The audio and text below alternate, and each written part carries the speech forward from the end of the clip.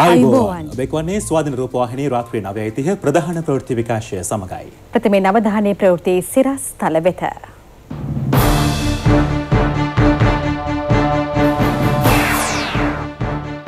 IDH එකෙන් පැන්න corona රෝගයා IDHම යවා ආගිය තැන් ගැන පුළුල් පරීක්ෂණ අරබයි. අත්තඩංගුවට ගන්න සිටි මීගමු ජේලර් CIDයට භාරවෙයි. ආරක්ෂක කවුන්සිලය සතිපතා පවත්වන්න ඉල්ලුවත් මෛත්‍රීත් රනිලුත් එය කළේ නැහැ. හිටපු ජනපති ලේකම් අබේකෝන් හෙළි කරයි. කොරෝනා සමාජ ආරක්ෂණ අරමුදලෙන් රුපියල් මිලියන තිස් හයක් PCR වලට උද්ඝෝෂකයන්ට එරෙහිවන ඇමරිකානු පොලිසියට ජගත් සංවිධානය එරෙහිවෙයි. දේශීය පුවත් ඔබ වෙත ගෙනීමේ අනුග්‍රාහක දායකත්වය. ෆන් තමයි. දිවි උදාන සංවර්ධන ණය යෝජනා ක්‍රමය ලංකා බැංකුවෙන් දියුණුවට දිරයක්. අවධානය දේශීය ප්‍රවෘත්ති වෙත. ජාතික ආරක්ෂක කවුන්සිලය සතිපතා පවත්වන ලෙසට බුද්ධ්‍යංශ සහ ආරක්ෂක ප්‍රධානීන් ඉල්ලීම් කළද හිටපු ජනාධිපති මෛත්‍රීපාල සිරිසේන මහතා සහ හිටපු අග්‍රාමාත්‍ය රනිල් වික්‍රමසිංහ මහතාගේ එකඟතාව මත එය මසකට වරක් පැවැත්වීම දක්වා අඩු වූ බව හිටපු ජනාධිපති ලේකම් පී.බී. අබේකෝන් මහතා පවසනවා. පාස්කිරදා ප්‍රහාරය පිළිබඳව විමර්ශනය කරන ජනාධිපති කොමිසම හමුවේ සාක්ෂි ලබා දෙමින් හිටපු ජනාධිපති ලේකම්වරයා මේ බව ප්‍රකාශ කළා.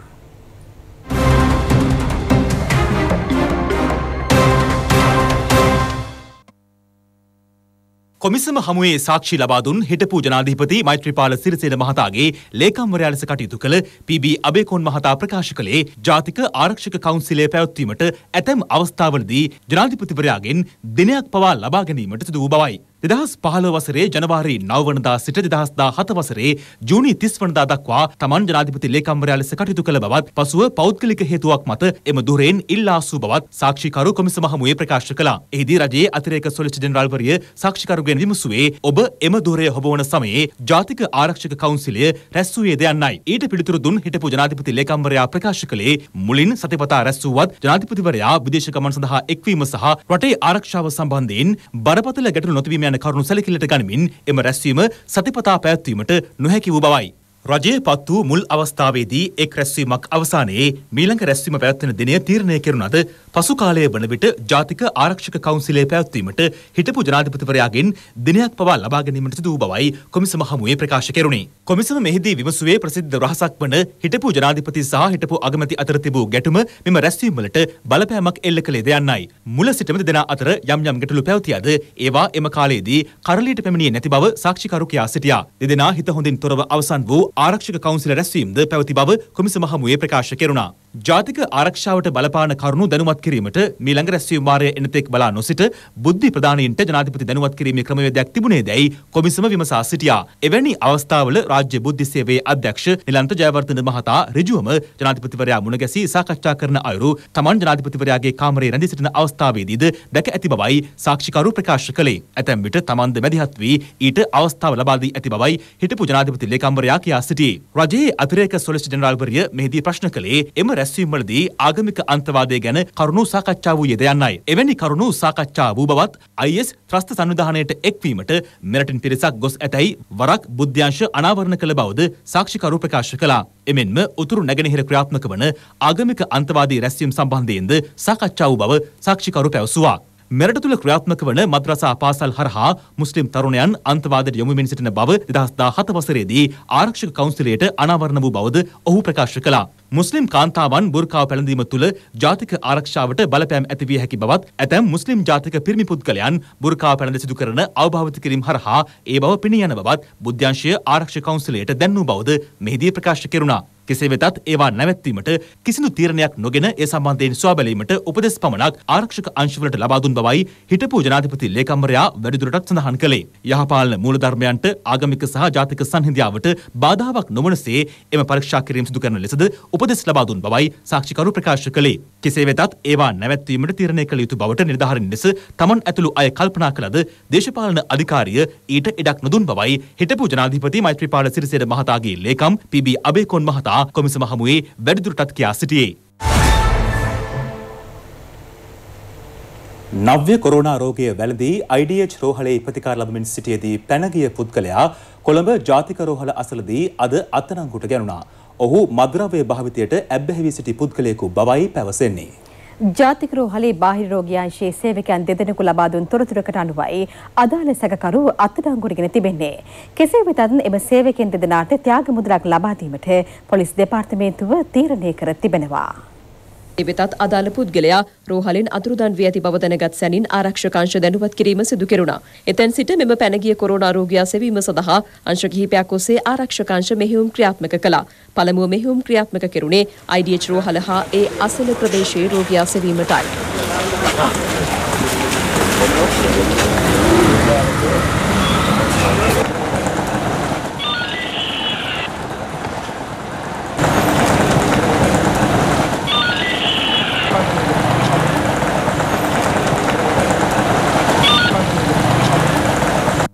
එමෙන්ම මෙම පුද්ගලයාගේ පැනයාම සම්බන්ධයෙන් මාධ්‍ය ඔස්සේ ජනතාව දැනුවත් කිරීමටද රජය වහාම පියවර ගත්තා.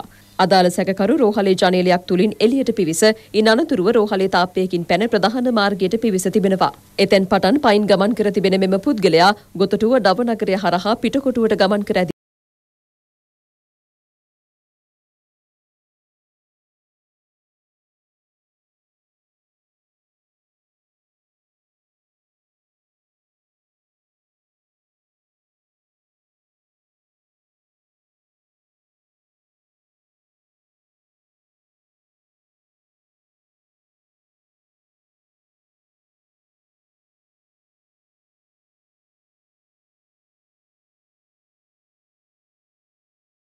එසේ වෙතත් අදාළ පුද්ගලයා පසුව ත්‍රිරෝධ රථයක නැගී කොළඹ මහරෝහල වෙත පැමිණ තිබෙනවා. එහිදී ඔහු රෝහලේ බාහිර රෝගියාංශයට ඇතුළත් වීමට උත්සාහ දරන අවස්ථාවේදී එහි සේවකීන් දෙදෙනෙකු මෙම පුද්ගලයා IDH රෝහලෙන් පැන ගිය රෝගියා බවට හඳුනාගෙන තිබෙන්නේ. ත්‍රිරෝධ රථේ කොහෙන්ද නවත් ඇවිල්ලා තියෙන්නේ? ත්‍රිවිල්ලක මහත්තයා අනරයෙන් තමයි හම්බෙන්නේ. අර සුදුවෙන්දමක් ඇඳගෙන ඉන්නේ අපි. ඔව් එයා එයාත් එක්ක කතා කරන්නේ. ඔව් යත් එක්ක යා තමයි දන්නේ මම. ඉල්ල මෙතන නැවතුමා. හා? ඉල්ල මෙතන නැවතුනේ. ඔව් ඇවිල්ලා. ඇවිල්ලා මම මෙතන කඩේට පොඩ්ඩක් තේ එකක් බොන්න යනවා. මෙතන නැවතුවා. නවත්තලා මම තමයි ID එක බලලාම කියලා කිව්වා. අපේ අපේ යාළුවා දෙන විනාඩි පහක්වත් නැහැ ෆොටෝ එක පෙන්නලා මට. ඔයා කතා කරාද? කතා කරලා එපාර ටක් ගාලා ටැපික් එකේ මාතර කතා කරලා මෙතන වාඩි කරා. මේ මේ දුර පරතරේදී මම තම කතා කරේ. තාලද ඉවර වාඩි කරාම කට්ටිය වට මේකලා හරස් කරා. මෙයා වෙන මේ අතුරට එහෙම ගිහිල්ලා මොකුත් තියනවද එහෙම නෑ නෑ නෑ මෙතනින්ම තමයි බැස්සේ. මෙතනින් බැස්ස මම මෙතනින් ඉන්නවා. ටීවීල කො කො මේ ටීවීල ගාව ඩ්‍රයිවර් දෙන්නම ඉන්නවා. කොහෙන්දද දැවිලා තින්නේ ඒක මොකුත් ඇහුවේ නෑ. මම ID එක ආයෙ කියලා අද්දක උසල වැදලා සමායන්න කියලා මෙතනින් එපාරතම මටක් කරලා මෙතනින් වාඩි කරා මම ඈත ඉඳලා. ඇත්තට මෙතන මිනිස්සු වට වෙලා තියෙනවා. පළවෙනි කාරණේ මිනිස්සු වට වෙන්න එපා කියන කාරණේ. මොකද මේ කොවිඩ් රෝගීන් එක්කනේ අපි මේ ඉන්නේ. ඒ නිසා කරුණා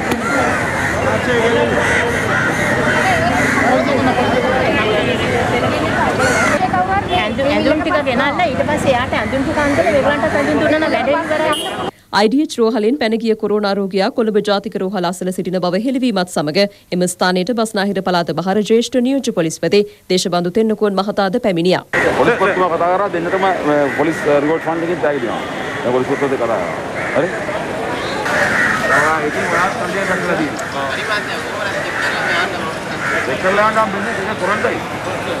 ඉතර යනවා මෙන්න දෙක කරලා. මොන බිම්බොතෙන් ශ්‍රී ලංකා පොලිසිය වෙනුවෙන් පොලිස් පොත්තුවා වෙනුවෙන් සියලුම දෙනාට ස්තුතිවන්ත වෙනවා.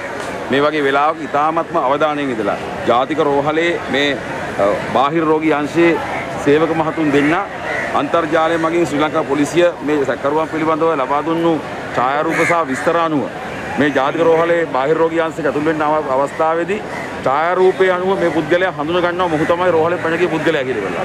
ඒ අනුව තමයි මේ අය ප්‍රශ්න කිරීම කරන්නේ. ඒ අවස්ථාවේදී ඔහු පිළිඅරන් තිනවා මම තමයි යා පුද්ගලයා කියලා. ඉන්පසුව කොළඹ ජාතික රෝහලේ පොලිස් මුරපොල්ලේ අය දැනුම් දීලා තිනවා. ඉතින් අත් වශයෙන්ම මේක ස්තුතිවන්ත වෙන්න වෙනවා මහජනතාවට මේ මාධ්‍ය මගින් ජනමාධ්‍ය වලින් අන්තර්ජාලයෙන් කරපු ශනික දැනුම් දීම අනුව ඒව ගැන අවබෝධයක් ඇතුව කටයුතු කරලා මේ වගේ විශාල වෙන්න ගිය ව්‍යසනයක් වළක් ගැනීමට ක්‍රියා කිරීම සම්බන්ධයෙන්.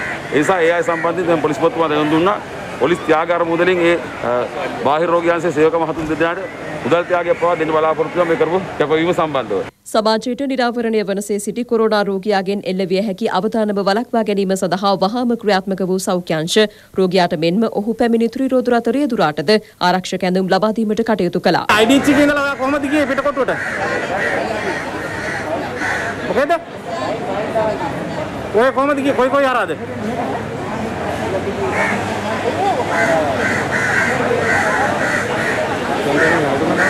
යාළුවා හම්බුණාද? ඒ කෑවද කඩල්ලු?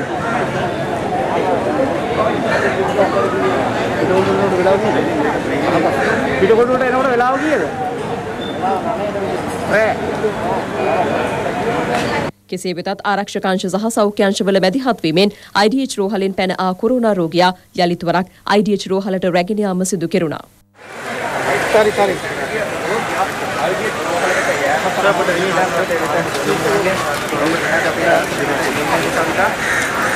ඒ රෝගියා අයිඩියස් රෝහලකට රැගෙන යනවා. කෙලවර තමයි යන්න. පොළොට යන්න පොළොටම.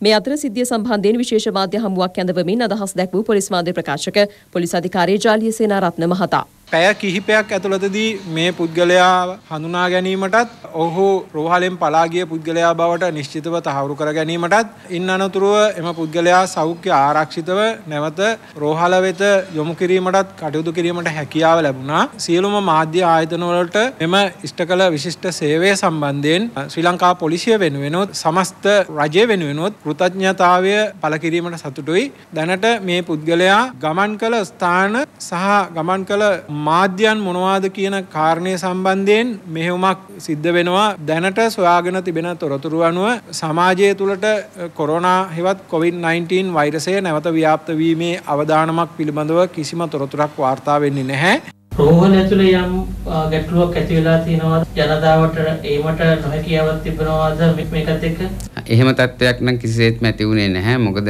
කාර්ය මණ්ඩලයේ කට්ටිය අවශ්‍ය ආරක්ෂිත උපකරණ ඇඳගෙන හිටියා. ඒ වගේම වහාම අනිත් කට්ටිය කාටවත් ළඟට එන්න දුන්නේ නැහැ. ඉතින් ඒක නිසා අපිට එහෙම ප්‍රශ්නයක් ඇති වුණේ නැහැ. ඇත්තටම රෝගියා රෝහලට ඇතුල් වුණෙත් නැති තරම්. ඉතින් ඒක නිසා මේ ජාතික රෝහල ඇතුලේ COVID-19 වෛරසය පැතිරෙන්න තියෙන අවස්ථාව මගහැරව ගන්න පුළුවන්කම ලැබුණා. රෝහල සුරක්ෂිතයි ඔබට ඇවිල්ලා ප්‍රතිකාර ලබා ගැනීමට එහෙම නැත්නම් ඔබේ හඳුනන රෝගියෙක් ඉන්නවා නම් රෝගියා බලන්න එන්න එහෙම පුළුවන්. පුරාවිද්‍යා පනත සංශෝධනය ඇතුළු වැදගත් තීරණ රැසක් කෙරෙහි ජනාධිපති ගෝඨාභය රාජපක්ෂ මැතිතුමාගේ අවධානය යොමු වුණා. ජනාධිපති කාර්යාලයේ අද පස්වරුවේ පැවති ජනාධිපති බෞද්ධ උපදේශක සභාවේ සිව්වන සභාවාරයේදී ජනාධිපතිතුමා මෙම තීරණවලට එළඹියේ. විශේෂයෙන්ම උතුරු නැගෙනහිර ප්‍රදේශව ඇතුළුව අනිකුත් ප්‍රදේශවලත් වෙන විනාශය පිළිබඳ යම් අවබෝධයක් තිබුණු නිසා තමයි විශේෂයෙන්ම නැගෙනහිර ප්‍රදේශයේ අ, තිබෙන පුරාවිද්‍යා වටනාකමක් ඇති ස්ථාන හඳුනාගෙන ඒවා ආරක්ෂා කිරීමට ගත යුතු ෂණික ප්‍රියවර පිළිබඳවත් අධ්‍යයනයක් කරලා දැනුවත් කිරීමට කාර්ය සාධක බලකාය ඇති කළේ. ඒ වගේම ඉතා වැදගත් කරුණු සායෝජනා අද මේ සභාවෙදි ඉදිරිපත් වුණා. මේ වගෙන් නැගෙනහිර ප්‍රදේශයට අයත් දේවල් මම ඒ කාර්ය සාධක බලකායට ඉදිරිපත් කරනවා.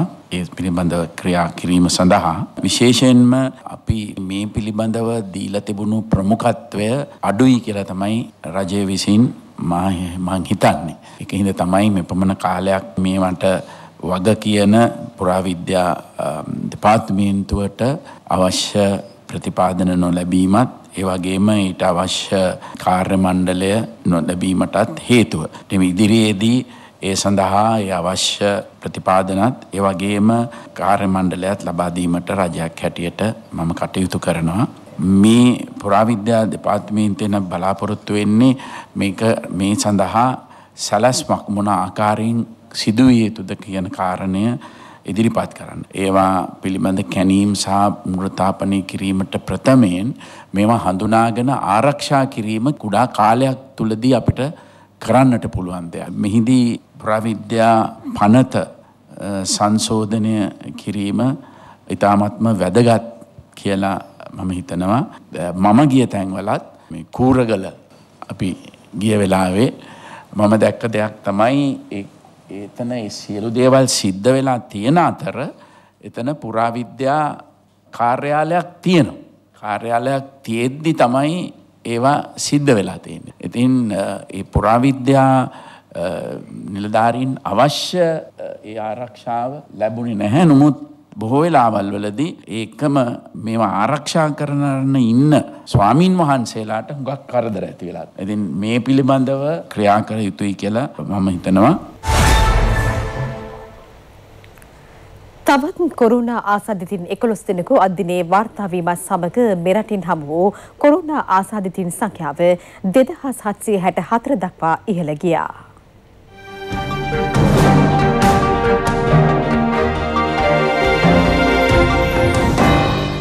අද දිනේ හඳුනාගත් කොරුණා ආසාදිතයින් 11 දෙනාගේ නව දෙනෙකුම කන්දකාඩු පුනරුත්ථාපන මධ්‍යස්ථානයේ රැඳවියන් වනවා. අනෙක් පුද්ගලයින් දෙදෙනාගෙන් එක් අයෙකු ඔවුන්ගේ ආශ්‍රිතයෙකු වන අතර අනෙක් පුද්ගලයා එක්සත් රාජධානිය සිට මෙරටට පැමිණි අයෙකු බවයි සෞඛ්‍ය අංශ පවසන්නේ. ඒ අනුව තවත් රෝගීන් 659 දෙනෙකු ප්‍රතිකාර ලබමින් සිටිනවා. වෛද්‍ය අධීක්ෂණය යටතේ පසු වන සංඛ්‍යාව 63ක්. කොරුණා ආසාදිතයින් හඳුනා ගැනීමේ PCR පරීක්ෂණ අද දිනය වන විට 1,50,000ක් සිදු කර අවසන් බව අමාත්‍ය පවිත්‍ර වන්‍යාරච්චි මහත්මිය පවසනවා. කන්දකාඩු පුනරුත්ථාපන මධ්‍යස්ථානයේ රෝගීන් ආශ්‍රිතව සිදු කර ඇති PCR පරීක්ෂණ සංඛ්‍යාව 8200ක්.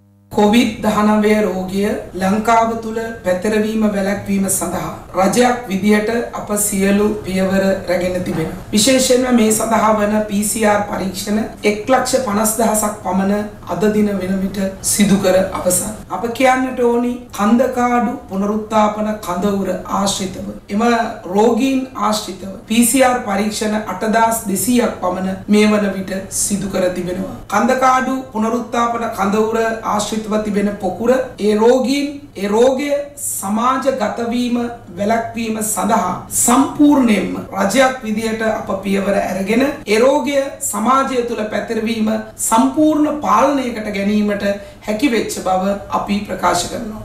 නව්‍ය කොරෝනා වෛරසය පාලනය කිරීම සඳහා රජය ගෙන ඇති සියලු ක්‍රියාමාර්ග සාර්ථක වී ඇති බව යුද හමුදාපති රුතුනල් ජෙනරාල් ශවේන්ද්‍ර සිල්වා මහතා පවසනවා.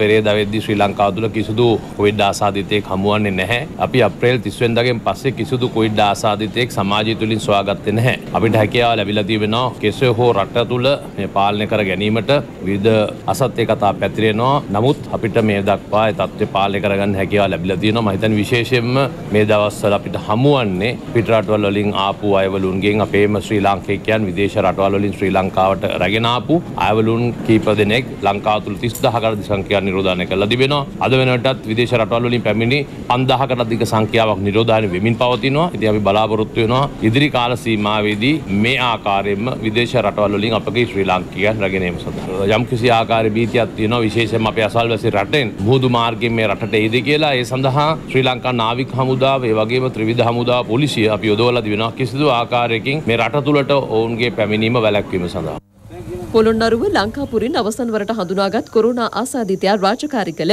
ලංකාපුර ප්‍රාදේශීය ලේකම් කාර්යාලයේ කාර්ය මණ්ඩලයේ 31 දෙනෙකු PCR පරීක්ෂණවලට ලක් කිරීමටද පියවර ගැනුණා. ඔවුන් සියලු දෙනා නිවෙස් තුළ ස්වයං නිරෝධායනයට යොමු කිරීමටයි පියවර ගැනුණේ. මේ අතර අද දිනේත් තවත් කොරෝනා රෝගීන් 17 දෙනෙකු පූර්ණ සුවය ලබා රෝහල් වලින් පිටව ගියා. පනාගොඩ යුද හමුදා රෝහලෙන් 8 දෙනෙකුද ජාතික බෝවන රෝග වෛද්‍යායතනයේ ප්‍රතිකාර ලැබූ 4 දෙනෙකුත් ඉරණවිල රෝහලේ ප්‍රතිකාර ලැබූ 4 දෙනෙකු සහ නැගෙනහිර කොළඹ මූලික රෝහලේ ප්‍රතිකාර ලැබූ එක් අයෙකුද මෙසේ සුවය ලබා ගිය පිරිසට ඇතුළත්. එම පිරිස සුවය ලැබීමත් සමග මෙරට සුවය ලැබූ කොරෝනා රෝගීන්ගේ සංඛ්‍යාව 2094ක් බවයි වසංගත රෝග වෛද්‍යාංශය සඳහන් කළේ.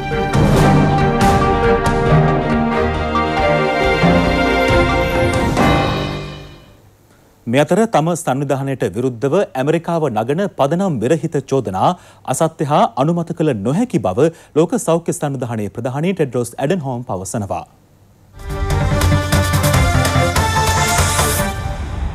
අසත්‍ය ප්‍රචාරවලින් තම සංවිධානය නොසලෙන බවත් ලෝකවැසියන්ද එම ප්‍රචාරයන්ට තම අවධානය යොමු කිරීම අනවශ්‍ය බවත් ලෝක සෞඛ්‍ය සංවිධානයේ ප්‍රධානියා ප්‍රකාශ කරනවා. එම සංවිධානයේ අරමුණ ජනජීවිත රැකගැනීම බවයි ඔහු සඳහන් කරන්නේ.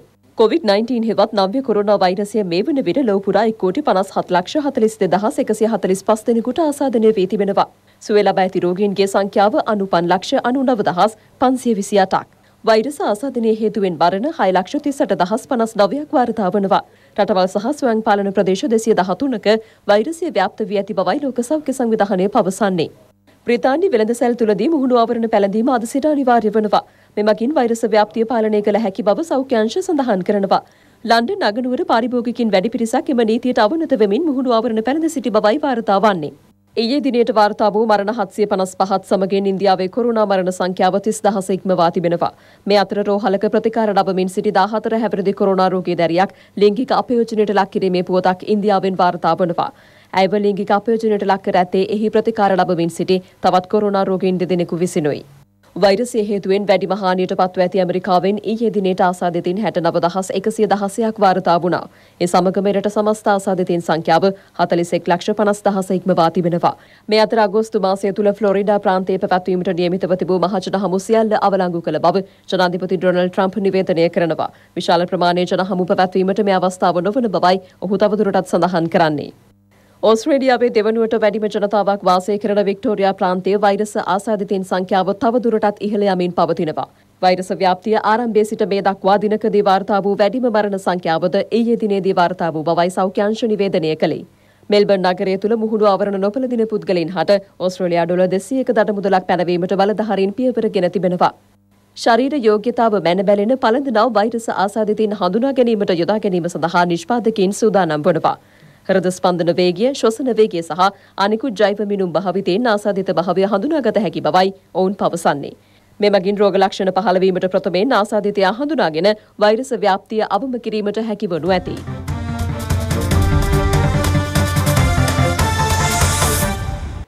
වැඩතහනමට ලක්ව සිටින අධිකරණයෙන් වරින්තු නිකුත් කර තිබූ මේ ගමුව බන්ධනාගාරයේ හිටපු ජේලවරයෙකු අපරාධ ප්‍රශ්න දෙපාර්තමේන්තුවට බාර වී ඇති බව වාර්තා වනවා. මෙම ජේලර්වරයා ඇතුළු තුන් දෙනෙකු අත්අඩංගුවට ගන්නා ලෙස මේගමු මහේස්ත්‍රාත් අධිකරණය පෙරේදා වරින්තු නිකුත් කළා. ඒ අනුව මේගමු බන්ධනාගාරයේ හිටපු ජේලර්වරයෙකු වන කාලිංග කළුවක්ගල මහතා අපරාධ පරීක්ෂණ දෙපාර්තමේන්තුවට බහර වී තිබෙනවා. මෙසේ බහර වූ මෙම හිටපු ජේලර්වරයා හෙට දිනේදී මේගමු මහේස්ත්‍රාත් අධිකරණයට ඉදිරිපත් කිරීමට නියමිතයි. මේ අතර තමන් අත්අඩංගුවට ගැනීම වළකල්ලමින් නියෝගයක් නිකුත් කරන ලෙස ඉල්ලා මේගමු බන්ධනාගාරයේ හිටපු අධිකාරී අනුරුද්ධ සම්පායෝ මහතා ගොනු කර ඇති රිට් පෙත්සම විභාගයට නොගෙන නිෂ්ප්‍රභ කරන ලෙස නීතිපතිවරයා අභියාචනාධිකරණය හමුවේ අද මූලික විරෝධතා මතු කළා. COVID-19 සෞඛ්‍ය හා සමාජ ආරක්ෂණ අරමුදලෙන් රුපියල් මිලියන 36ක මුදලක් PCR පරීක්ෂණ සඳහා ලබා දී තිබෙනවා. සෞඛ්‍ය හා දේශීය වෛද්‍ය සේවා අමාත්‍යාංශය සිදු කරන අත්‍යවශ්‍ය PCR පරීක්ෂණ සඳහා සෞඛ්‍ය හා සමාජ ආරක්ෂණ අරමුදලෙන් රුපියල් 3 කෝටි 66 ලක්ෂ 5812ක් වැය කෙරෙනවා. ඊට අදාළ චෙක්පත මහ බැංකු අධිපතිවරයා සහ මේ මුදල් අරමුදලේ කළමනාකරණ කමිටු සභාපති මහාචාර්ය WD ලක්ෂ්මන් මහතා සෞඛ්‍ය අමාත්‍යාංශයේ ලේකම් මේජර් ජෙනරාල් සංජීව මුණසිංහ මහතා වෙත බහර දුන්නා. සෞඛ්‍ය අමාත්‍යංශයේ ඉල්ලීම පරිදි ශ්‍රී ජයවර්ධනපුර විශ්වවිද්‍යාලය සිදු කරන PCR පරීක්ෂණ සඳහා අවශ්‍ය පරීක්ෂණ කට්ටල මිලදී ගැනීමට මේ මුදල් වැය කෙරෙනවා.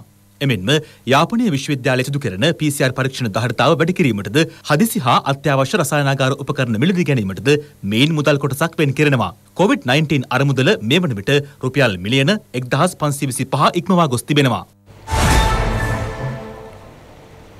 ජනමාධ්‍ය අමාත්‍යවරයෙකු ලෙස මාධ්‍යවේදීන් අතර අතිශය මිතුරුකමක් පවත්වාගෙන ගිය ධර්මසිරි සේනානායක මහතා ජීවිතයෙන් සමුගෙන අදට වසර 20ක් සපිරෙනවා. ශ්‍රී ලංකීය දේශපාලනයේ මහත්මා ලකුණ සනිටුහන් කළ ධර්මසිරි සේනානායකයන් මීට වසර 20කට පෙර අද වගේ දවසක ජීවිතයෙන් සමුගත්තද ඔහු රටට කළ කීදෑ තවත් දශක ගණනාවක් පවතිනු ඇතේ. ගම්පහ මිනුවන් ගොඩදී උපත ලැබූ ධර්ම සිරිසේනානායක කොළඹ ආනන්ද විද්‍යාලයෙන් අධ්‍යාපනය ලබා තම වැඩිමහල් සහෝදරයා වූ රත්න දේශප්‍රිය සේනානායක නම් පුවත්පත් කලාවේදියා මෙන්ම මාධ්‍යවේදියෙක් ලෙස ජීවිත ගමන ඇරඹුවා සීම. තම සහෝදරයාගේම අඩිපාරේ ගොස් දේශපාලනයට පිවිස අමාත්‍ය දුර ගණනාවක් දැරුවේය. එක්දහස් නමසය හැත්තෑව මහමැතිවරණයේදී ශ්‍රී ලංකා නිදහස් පක්ෂයෙන් දැදිගම ආසනයට තරඟ කළ ධර්මසිරි සේනානායක පරාජයට පත් වූයේ අග්‍රාමාත්‍ය ධූරය දැරු ඩඩ්ලි සේනානායක මහතාටය. මැතිවරණ කිහිපයකින්ම පැරදුණු ධර්මසිරි සේනානායක මහතා එක්දහස් නමසය අසූ නවය මහමැතිවරණයේදී කෑගල්ල දිස්ත්‍රික්කයෙන් පාර්ලිමේන්තු මන්ත්‍රීවරයෙකු ලෙස තේරී පත් වුණා. එක්දහස් නමසය අනු හතර චන්ද්‍රකා කුමාරණතුංග මහත්මියගේ ආණ්ඩුවේ ජනමාධ්‍ය සංචාරක හා ගුවන් සේවා අමාත්‍ය ධූරිය මෙන්ම ශ්‍රී ලංකා නිදහස් පක්ෂයේ මහලේකම් ධූරයට පත්වීමටද ධර්මසිරි සේනානායකයන්ට හැකි වුණා. ජනමාධ්‍ය අමාත්‍යවරයා ලෙස මාධ්‍යවේදීන් සමග අතිශය කුළුපගව කටයුතු කළ ඒ මහතා මාධ්‍යවේදීන්ට ලබා දිය හැකි සියලු වරප්‍රසාද ලබා දීමටද දැඩි වෙහෙසක් ගත් අමාත්‍යවරයෙක් ලෙස අදටත් මතකයේ පවතිනවා. ගුවන් විදුලිය සංස්ථාවක් ලෙස ස්ථාපිත වෙද්දී එකල සේවය කළ සේවකයන්ට විශ්වාම වැටුප ලබා දෙන්නටද කටයුතු කළේ ජනමාධ්‍ය අමාත්‍ය ධර්මසිරි සේනානායක මහතායි. මාධ්‍යවේදීන් සඳහාම වෙන් වූ මාධ්‍ය සමාජය හෙවත් ප්‍රෙස් ක්ලබ් බිහි කර දී එකම වහලක් යටතේ මාධ්‍යවේදීන්ට එක්වන්නට කටයුතු යෙදුවේද සේනානායක මහතායි. පාර්ලිමේන්තුවේදී දක්ෂ කතකයෙකු විවාදකයෙකු වූ ඒ මහතා සිය දේශපාලන ජීවිතයේදී කිසිවෙකුටත් අපහාස උපහාස මඩගැසූ දේශපාලනඥයෙකුද නොවේ. පක්ෂ විපක්ෂ කා අතරත් හිත හොඳ මහත්මයෙකු මෙන්ම කුළුපග මිතුරෙකුද වූ ධර්මසිරි සේනානායකයන් අදටත් මාධ්‍යවේදීන් අතර නොමැකෙන සටහනක් තැබූ ජනමාධ්‍ය අමාත්‍යවරයෙක්. දැන් අවධානය විදේශ ප්‍රවෘත්ති වෙත ඇමරිකා පොලිසිය සහ ආරක්ෂක අංශ උද්ඝෝෂකයන් වෙත බලපෑම් එල්ල නොකළ යුතු බව එක්සත් ජාතීන්ගේ මානව හිමිකම් කාර්යාලය නිවේදනය කරනවා. පොලිස් අත්අඩංගු වී සිටියේදී නිරායුධ කළු ජාතික ජෝර්ජ් ෆ්ලොයිඩ් ඝාතනය කිරීමෙන් පසු වර්ගවාදයට සහ පොලිස් ප්‍රචණ්ඩත්වයට එරෙහිව ඇමරිකාව පුරා උද්ඝෝෂණ ක්‍රියාත්මක වනවා. එහිදී උද්ඝෝෂකයන්ට පොලිසිය පහර දෙන ආකාරය සමාජ මාධ්‍ය ජාලාවල විටින් විට වාර්තා වනවා. මේ ආකාරයෙන් සාමකාමී විරෝධතාවලට පොලිස් බලය අවභාවිත කිරීම සිදු නොවිය යුතු දෙයක් ලෙසයි එක්සත් ජාතීන්ගේ මානව හිමිකම් කාර්යාලය නිවේදනය කරන්නේ. එවැනි බලපෑමකට ලක් වූ ඕනෑම අයෙකුට ඒ සම්බන්ධයෙන් විනිවිද භාවයෙන් යුත් පරීක්ෂණයක් ඉල්ලා සිටීමේ හැකියාව පවතින බවද එම කාර්යාලය වැඩිදුරටත් පවසනවා. පසුගිය සතියේ පෝර්ට්ලන්ඩ් උද්ඝෝෂකයන්ට ෆෙඩරල් නියෝජිතයන් පහර දුන් ආකාරය ඇමරිකාවේ නීතිය කඩාවැටීමක් ලෙසයි ජගත් මානව හිමිකම් කාර්යාලය නිවේදනය කරන්නේ. සමගින් ස්වාධීන රූපවාහිනී රාත්‍රියේ 9:30 ප්‍රධාන ප්‍රවෘත්ති විකාශය අදට අවසන්. ඔබට සුබ රාත්‍රියක්. අයබෝවන්. අයබෝවන්.